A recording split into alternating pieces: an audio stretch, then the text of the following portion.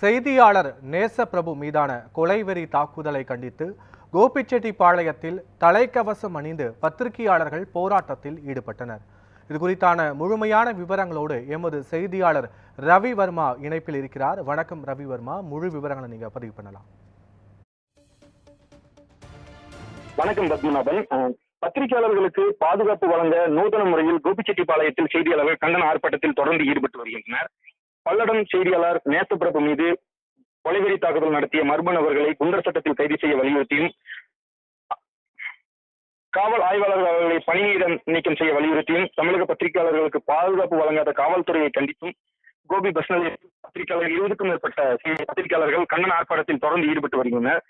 இந்த ஆர்ப்பாட்டத்தில் கோபிச்செட்டிப்பாளையம் மற்றும் நம்பியூர் சிஎன் பாளையம் ஆகிய பகுதிகளைச் சேர்ந்த இருபதுக்கும் மேற்பட்ட செய்தியாளர்கள் கோபி பேருந்து நிலையம் முன்பு தொடர்ந்து ஆர்ப்பாட்டத்தில் ஈடுபட்டு வருகின்றனர். மேலும் அரசு கவனத்தை ஈர்க்கும் வகையில் பத்திரிகையாளர்களுக்கு பாதுகாப்பு வழங்க தலைக்கவசம் அணிந்து தொடர்ந்து பத்திரிகையாளர்கள் ஆர்ப்பாட்டத்தில் ஈடுபட்டு வருகின்றனர் பத்மநாபன்.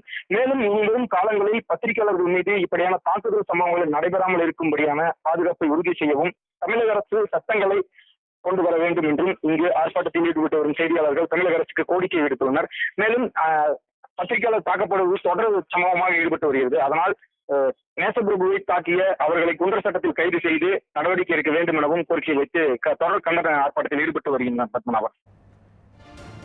முழுமையான விவரங்களுக்கு நன்றி ரவிவர்மா.